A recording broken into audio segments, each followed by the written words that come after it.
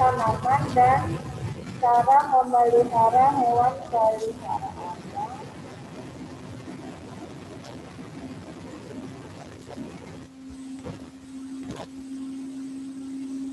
Merawat tumbuhan dan merawat hewan maksudnya ya.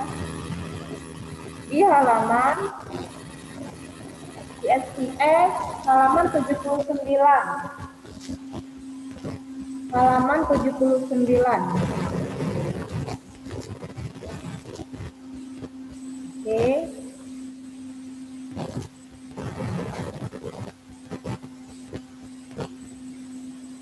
halaman 79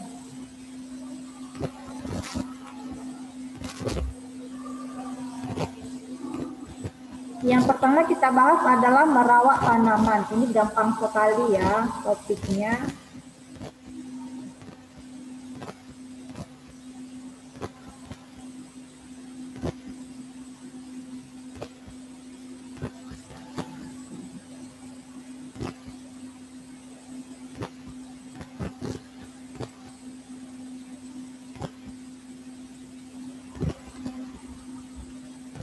Baik, saya panggil siswanya untuk baca. Saya mau panggil Gisel Adalia.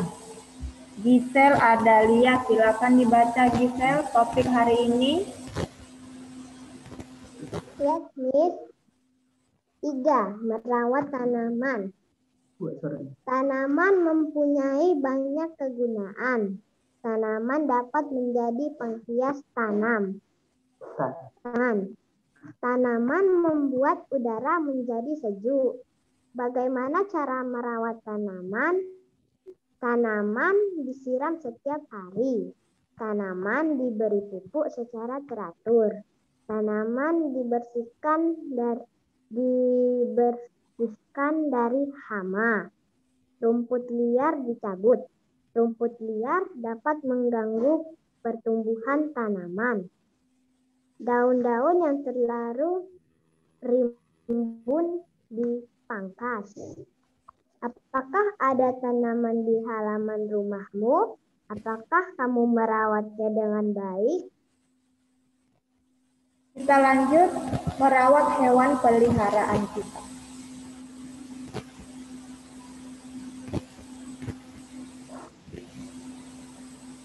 Empat, merawat hewan peliharaan.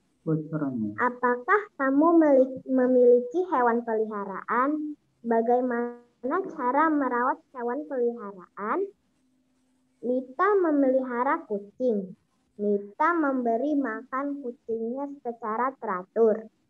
Nita juga memandikan kucingnya. Nita membawa kucingnya ke dokter hewan. Nita menyayangi kucingnya. Nita memelihara kucingnya dengan baik. Oke, okay, now Jovan Savero. Jovan Savero silakan baca ulang dari halaman 79. Merawat tanaman. Jovan. Merawat tanaman. Tanaman mempunyai banyak kegunaan. Tanaman dapat menjadi penghias taman. Tam, tanaman membuat udara jadi sejuk. Bagaimana cara merawat tanaman? Tanaman disiram setiap hari. Tanaman diberi pupuk secara teratur. Tanaman dibersihkan dari hama. Rumput liar dicabut. Rumput liar dapat mengganggu pertumbuhan tanaman. Daun-daun yang terlalu rimbun dipangkas.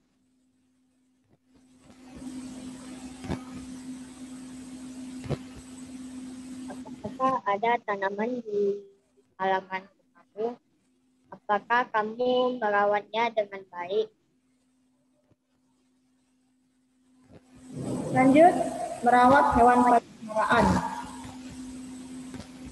Apakah kamu memiliki hewan peliharaan? Bagaimana cara merawat hewan peliharaan?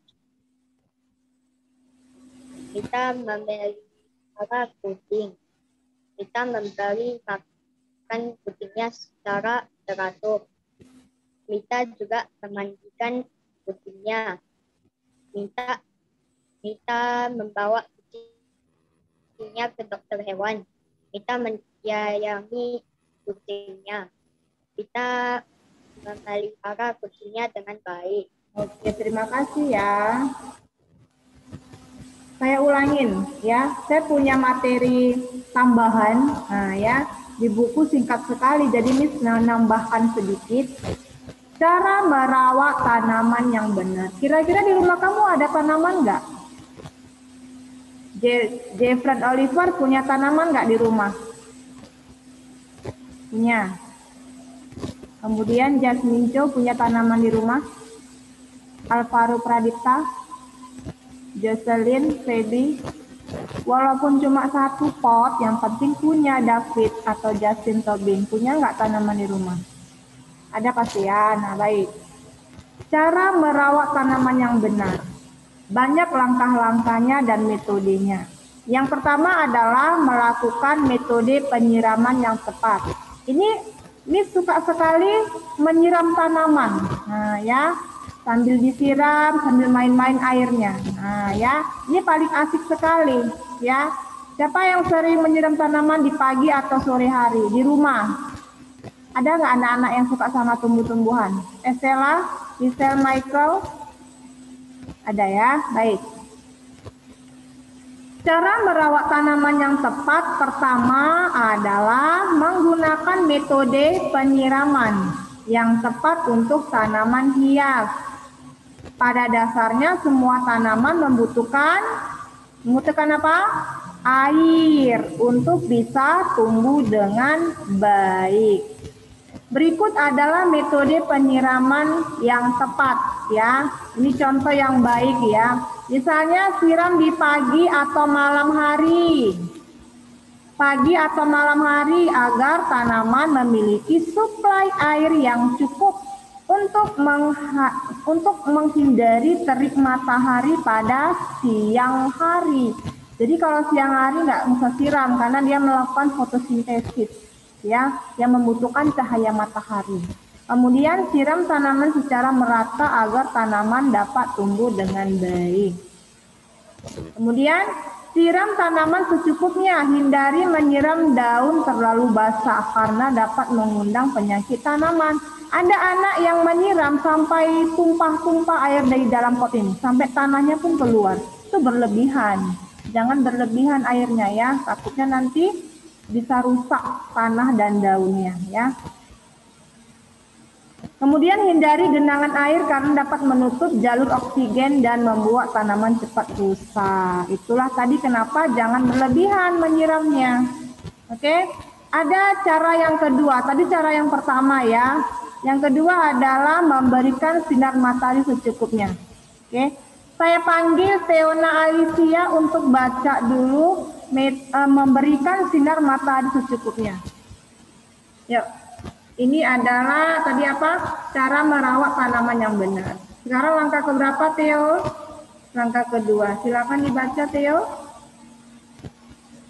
Dua. Memberikan sinar matahari secukupnya. Cara merawat tanaman agar tidak layu berikutnya adalah mengetahui kebutuhan sinar matahari yang ideal pada jenis tanaman yang kamu miliki. Untuk kebun sayur dan buah-buahan biasanya bisa Biasanya tanaman harus terkena sinar matahari secara langsung selama sekitar enam jam. Sementara itu, tanaman hias biasanya membutuhkan sinar matahari selama 3 3-4 jam setiap harinya. Berbeda dengan yang lainnya, sukulen putus atau pakis ya, hanya membutuhkan paparan sinar matahari sebanyak dua jam per hari. Iya, terima kasih. Saya mau panggil Melody. Kenapa Melody? Dia sedang uh, berbicara dengan saudaranya yang di sebelah. Ya, kan belajar dulu ya Melody. Jangan main handphone dulu ya, fokus. Oke, Miss bisa lihat dari sini. Siapa yang serius, siapa yang enggak, ya. Silakan dibaca cara merawat tanaman yang benar. Yang sekarang adalah poin ketiga. Poin ketiga dibaca. Ayo, Miss. Melody. Mengamati suhu dan kelembapan yang benar.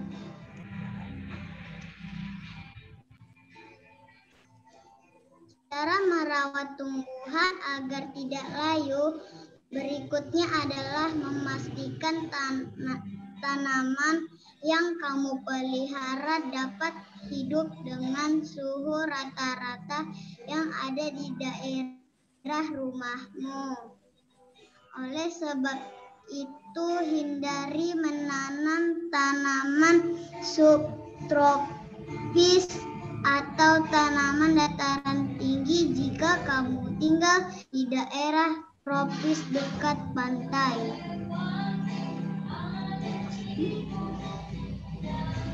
Kelembapan pada udara juga dapat mengaruhi kondisi tanaman hiasmu. Kamu dapat mengakali kelembapan udara dengan menggunakan alat bantu seperti humidifier atau menempatkan sumber air di, di sekeliling tanaman. Oke, iya terima kasih ya. Elisa Nasution, silakan baca poin ke selanjutnya. Poin ke Miss. Ya, silakan. 4. Antisipasi hama dan penyakit pada tanaman. Terdapat beberapa strategi yang dapat kamu lakukan untuk mencegah tanaman terkena serangan penyakit dan hama. Beberapa strategi tersebut di antaranya adalah menjaga kualitas tanah dan memberi nutrisi seperti kotoran hewan atau kompos alami secara rutin pada tanaman. Merotasi tanaman secara rutin, mengoptimalkan lokasi dan kondisi tanaman, serta memangkas rumput liar di sekitar tanaman. Iya, masih berhubungan ya dengan nyanyi buku ada rumput liar. Oke, terima kasih ya Felisa. Sorry, sorry Felisa Nasution. Jadi kalau uh, untuk tanaman yang baik jangan sampai ada rumput liar harus dipangkas ya atau dicabut. Karena rumput liar dapat mengganggu pertumbuhan tanaman begitu. Jadi daun-daun yang terlalu rimbun harus segera dibersihkan ya. Selanjutnya Felicia Hutapea. Sorry ya, soalnya banyak banget namanya Felicia ya. Felicia Nasution.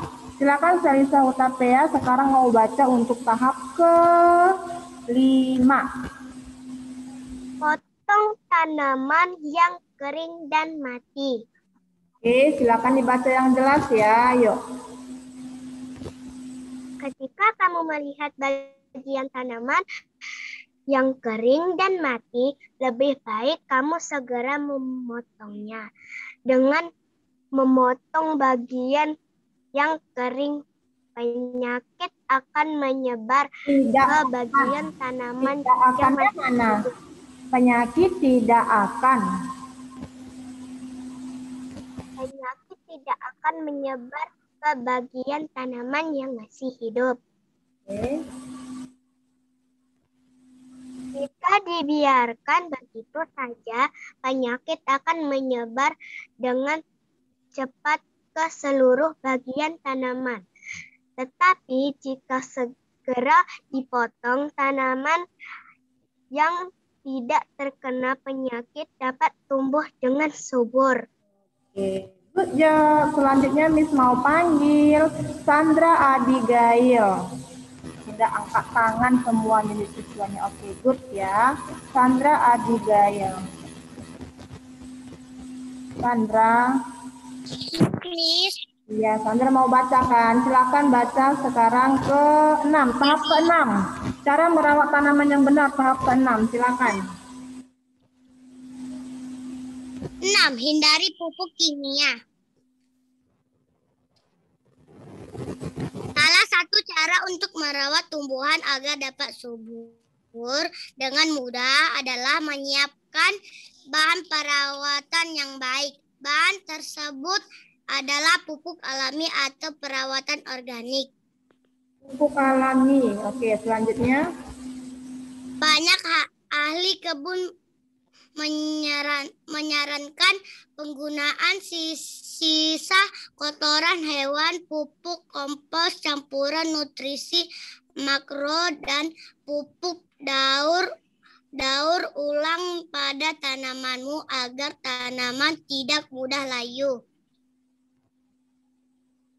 Kamu dapat menggunakan pupuk dengan kandungan murni agar hasil kebunmu menjadi semakin subur.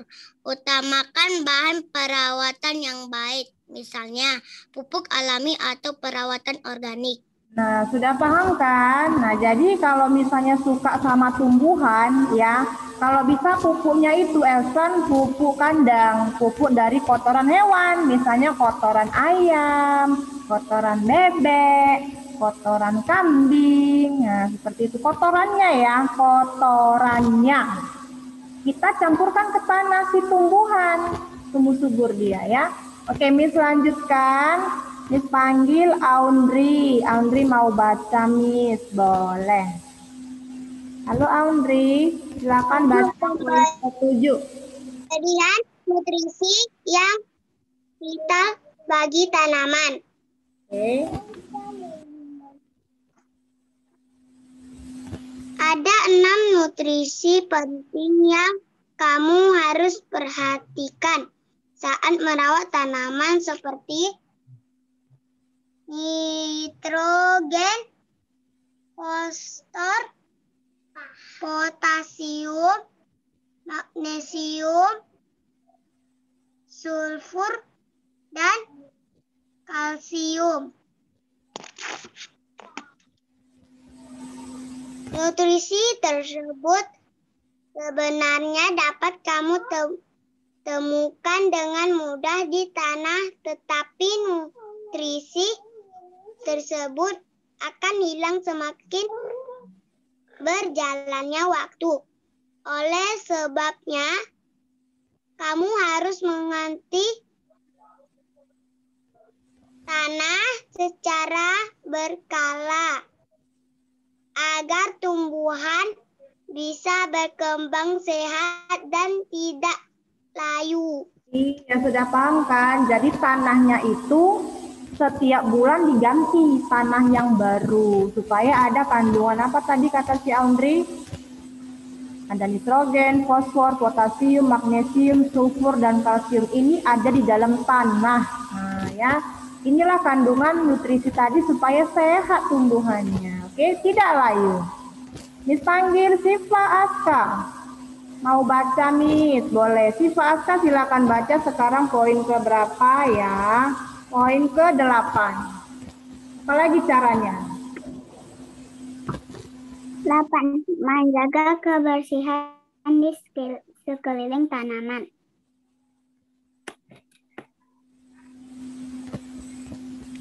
Jangan lupa menjaga kebersihan di sekitar taman, pot, dan tanaman. Hindari membuang sampah ke tanah sekitar tanaman, terutama sampah plastik, kaleng, dan bahan lain yang tidak bisa terurai dengan baik. Selain itu, bersihkan patahan dahan pangkas bagian tanaman yang tumbuh tidak teratur dan buang sisa kotoran deb- dan debu yang tidak seharusnya berada di sekitar tanaman. Iya, jadi tanaman itu harus dibersihkan katanya tadi kan. Nah, harus dibersihin. Pot-potnya itu jangan sampai ada sampah. Misalnya uh, sampah apa ya Elsan? Misalnya sampah kita suka makan snack, nah, bungkus snack itu jangan dibuang ke potnya, nanti berbahaya, nanti bisa uh, mengurangi kandungan tanah. Kenapa? Nah, sampah plastik tadi kata Cici ini, sampah plastik, sampah kaleng ya, ini sangat berbahaya untuk kesuburan tanah. Dia bisa mempengaruhi. Karena nggak bisa terurai sayang, kecuali daun-daun kering. Daun-daun kering boleh. Itu kan bisa didaur ulang menjadi pupuk. Oke? Selanjutnya, poin ke-9, Miss mau panggil anaknya untuk baca Nelvina. Sudah angkat tangan dari tadi boleh. Nelvina. Ah, baca yang kuat ya Delvina.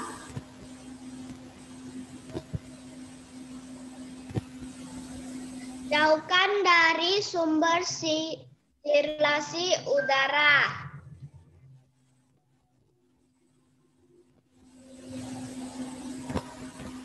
Jika kamu menyimpan tanaman di dalam rumah, hindari menempatkan tanaman di sumber sirkulasi udara.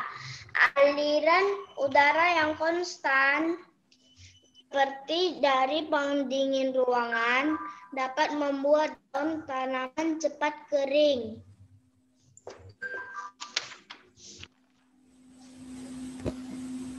Untuk mengatasi hal ini, letakkan humidifier dan jauhkan tanaman dari sumber-sumber sirkulasi udara tersebut.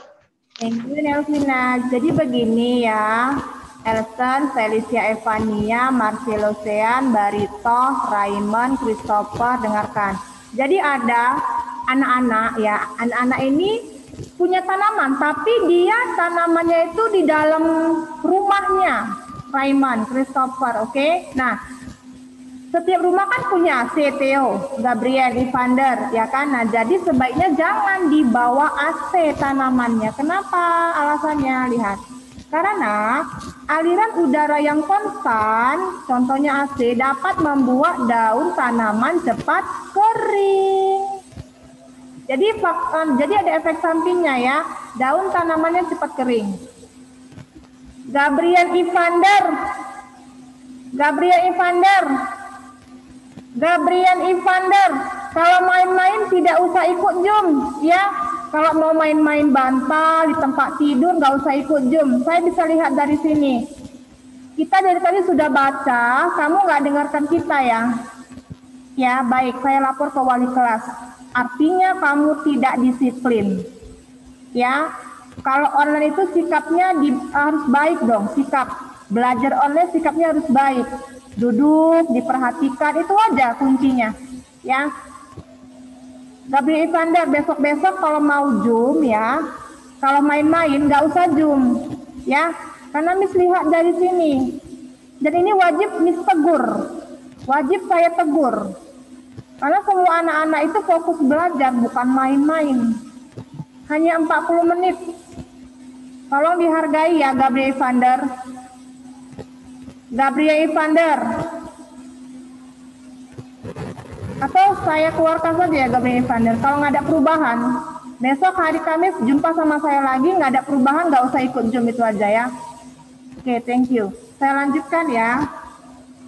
Nah, sekarang kita mau masuk ke perawatan hewan. Siapa yang suka merawat hewan di rumah? Saya mau tanya dengan Mile. Mile ada nggak hewan peliharaan kamu di rumah, Mile? Tidak ada. Oke, Mila nggak punya. Evelyn Gracia ada nggak hewan peliharaan di rumah? Evelyn? Tidak ada juga. Oke. Siapa yang punya? Carlos? Jeffren? Ada yang punya nggak? Ada yang sayang nggak sama hewan peliharaan? Michael? Fabrizio ada nggak? Ada. Michael punya hewan peliharaan? Oh, nggak punya. Fabrizio? Tidak ada juga, tidak sayang. Siapa yang punya ini? Oke, nggak apa-apa ya. Kalau begitu Miss panggil saja Jeremia. Dengan Jeremia. Jeremia punya hewan peliharaan nggak Jeremia?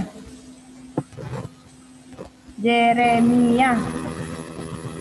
Halo, Jeremia. Yes, Miss. Jeremia punya hewan peliharaan? Ada? Ada. Contohnya apa hewannya? An- saya punya ada sembilan anjing. Oh, Miss punya kelinci. Nah, siapa yang suka kelinci? Yang eh, yang kupingnya itu panjang, terus agak bengkok. Miss punya kelinci. Nah, jadi eh, boleh boleh saja ya, boleh boleh boleh hewan domba, boleh hewan kambing, terserah bebas. Yang penting kamu sayang nggak sama hewan tersebut, ya kan? Nah, sekarang Jeremia coba baca dulu bagaimana kita cara merawat hewan yang baik. Yuk, baca silakan Jeremia. Merawat hewan peliharaan sebagai bagian dari keluarga.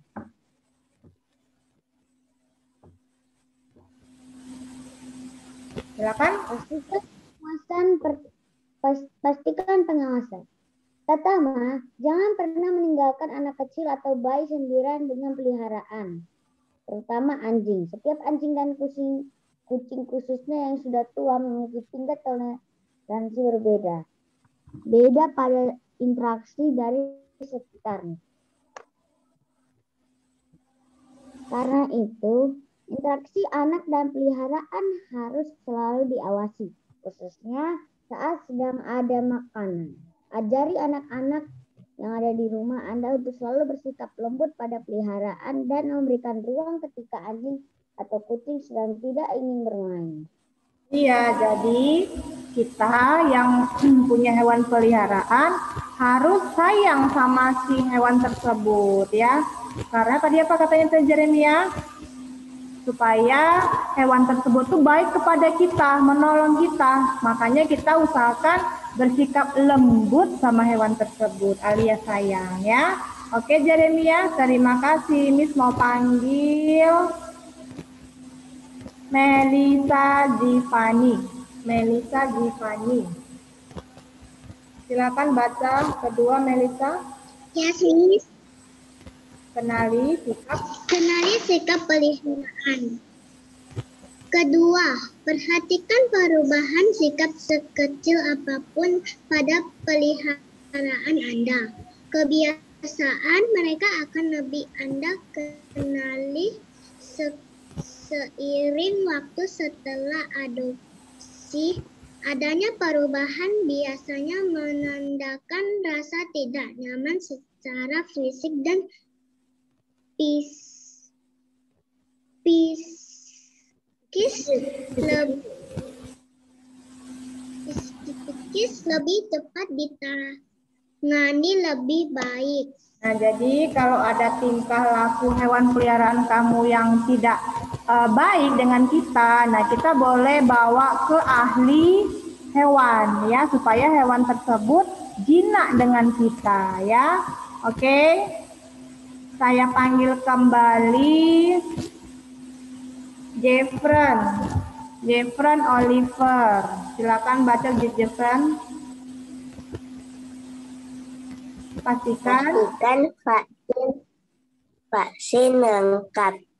Ketiga, selalu cuci tangan setelah berinteraksi dengan berinteraksi pelihara. berinteraksi Berin- berinteraksi dengan peliharaan, khususnya bagi anggo- anggota keluarga yang sedang hamil, memiliki masalah imun, atau rawat jalan. Ini untuk men- mewaspadai potensi zoonosis penyakit hewan yang bisa menular dari hewan ke manusia. Berikan vaksin lengkap untuk seluruh hewan peliharaan dan jaga kebersihan rumah Anda. Nah, sudah dengar? Jadi harus rajin-rajin cuci cuci tangan setelah menyentuh hewan ya. Contohnya tadi ada siapa namanya ya? Dia ada. Contohnya Miss lah ya, Sandra Felicia Evania. Miss punya hewan kelinci, Miss bilang kan. Kalau kita udah sentuh hewan tersebut, jangan lupa apa? Cuci tangan, takutnya ada penyakit. Nah, ya ada penyakit bisa menular. Nggak boleh ya, harus bersih-bersih itu kuncinya. Miss mau panggil Michael Papahan untuk baca. Yuk, Michael. Michael. Michael, baca dulu yuk. Baca yang kuat ya, Michael. Kasih sayang.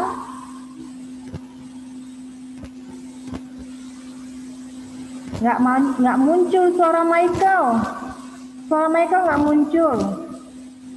Dipanggil kembali. Kai Velasco. Kai Velasco. Yes, Miss. Kai punya hewan peliharaan di rumah? Tidak ada, Miss. Oh, tidak ada, nggak apa-apa ya. Ayo, silakan baca, Kai. Michael. Sorry, sorry, Kai. Kasih sayang yang tulus. Tidak akan sulit untuk menerapkan hal-hal ini di kes keseharian Anda dengan dasar kasih sayang yang tulus kepada hewan peliharaan Anda. Memiliki hewan peliharaan berarti menjadikan mereka bagian keluarga Anda yang harus dirawat dan disayang seumur hidup. Mereka pun akan membalas kasih sayang Anda dengan cara mereka sendiri. Iya, jadi harus baik sama hewan tersebut ya, supaya hewan tersebut sayang sama kita ya. Selanjutnya, Elson. Elson. Oh, sorry. Leandrew. Elson. Yes, Miss. Kamu punya hewan peliharaan, Elson? Tidak, Miss. Tidak, nggak apa-apa. Baca, Elson. Nutrisi yang tepat untuk peliharaan yang sehat. Oke, nutrisi itu makanan ya, Elis? Felicia Evania. Siapa yang suka hewan kucing? Gak ada yang suka? Oke, nggak apa-apa ya. Ada yang suka nggak? Oh, ada. Silakan Elson, baca. Mulai dari nutrisi. Nutrisi adalah salah satu kebutuhan dasar hewan dan merupakan salah satu kunci kesejahteraan mereka. Pola makan yang baik dengan nutrisi yang cukup akan membantu peningkatan kesehatan hewan pada tiap tahap kehidupannya. Kebutuhan nutrisi bisa berbeda-beda karena tergantung dengan banyak faktor. Antara lain jenis ras, usia, gaya hidup, kondisi kesehatan, dan berat badan karena itu. Pasti Anda menyediakan jenis dan jumlah makanan yang sesuai. Lanjut. Cara memberi makan. Selain soal jenis makanan, Anda juga perlu mengetahui bagaimana memberikannya. Kucing menyukai area makan yang tenang dan memiliki rute. Untuk melarikan diri, mereka juga cenderung membagi waktu makan menjadi 10 sampai 20 kali tiap hari. Ini adalah insting mereka sebagai hewan pemburu. Jangan lupa sediakan juga makhluk berisi air yang bisa mereka akses kapan saja. Air harus matang, bersih. Jangan berikan susu kepada hewan peliharaan yang sudah dewasa karena mereka tidak dapat mencernanya dengan baik. Mangkuk air dan makanan pun harus selalu dalam kondisi bersih. Iya, terima kasih Elson. Saya perhatikan ya Gilbert uh, Gilbert ya masih main-main. Saya panggil kembali Sandra Abigail. Silakan baca Sandra, Sandra Abigail. Sandra. Oh, Sandra. Halo. Oke, baca sekali lagi. Cemilan. Cemilan di antara jam makan, cemilan boleh diberikan asalkan tidak mengganggu keseimbangan pola makan. Biasanya keseimbangan pola biasanya cemilan digunakan sebagai imbalan saat melatih atau mendisli, mendisiplinkan hewan. Karena cemilan pada umumnya mengandung kalo, kalori yang lebih tinggi dengan nutrisi yang lebih rendah dari makanan biasa. Memberikannya perlu dibatasi. Iya, jadi kalau misalnya punya hewan yang pinter, atraksi, kasih rewardnya yaitu cemilan ya supaya lincah hewannya. Oke, jadi ini sudah selesai ya untuk merawat uh, hewan. Saya mau panggil Ya, Miss mau panggil Carlos Evan. Carlos Evan. Halo Carlos. Nah, coba kamu jelaskan bagaimana cara merawat tanaman yang baik. Bebas, jawabannya bebas. Yuk. Menurut Carlos, bagaimana cara cara merawat tanaman yang baik? Menurut Carlos? Men menjaga kebersihan di sekeliling, sekeliling tanaman. Boleh. Ada lagi yang lain masih banyak sudah kita baca satu persatu. Iya, Wace. Ada lagi Carlos? Carlos? Itu saja yang Carlos tahu. Oke, nggak apa-apa ya. Saya panggil Maura. Maura. Maura. Maura. Maura, speakernya aktifkan dulu Maura. Nggak bisa ya? Oke, nggak apa-apa ya. Panggil yang lain. Alvaro Pradipta. Alvaro Pradipta. Bagaimana cara merawat tanaman menurut Alvaro Pradipta? Cara merawat tanaman dengan baik, menyiram tanaman, memberi pupuk. Kemudian?